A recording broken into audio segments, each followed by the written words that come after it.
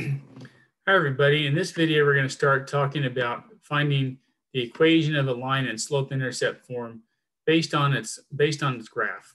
So what I've got here is a picture of a line and uh, for slope-intercept form you need two things.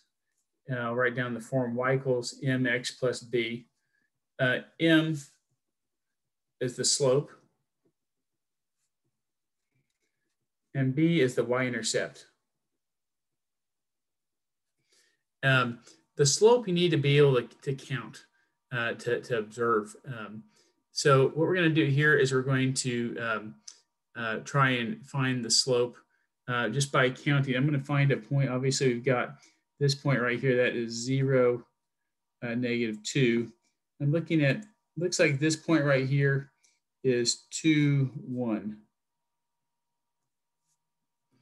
Um, so if you know two points, you can definitely find the slope because the slope is always the change in the y's over the change in the x's or the rise over the run. Here my y's are, let's say one minus a negative two and then two minus zero. That's gonna be uh, one minus a negative is a plus, so it's going to be three over two slope.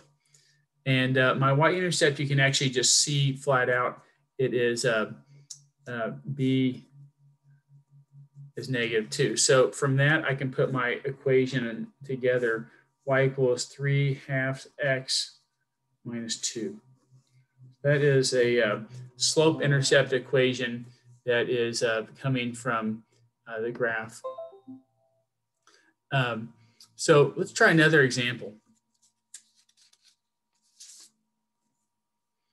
Okay, in this graph, we have two points, but we don't explicitly see um, the y-intercept. I can kind of tell it's probably going to be two, but I don't know for sure.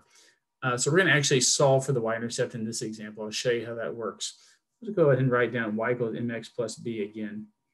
Uh, let's find my slope first. I have two points, so my slope is going to be y2 minus y1 over x2 minus x1.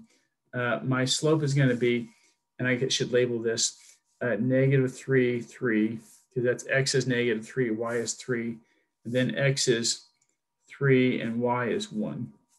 So my slope is going to be to do 3 minus 1, 3 minus 1 for the y's, and then negative 3 minus 3 for the uh, the, the x's, that's going to be a slope of 2 over negative 6, or we call, call that negative 1 third if we reduce it.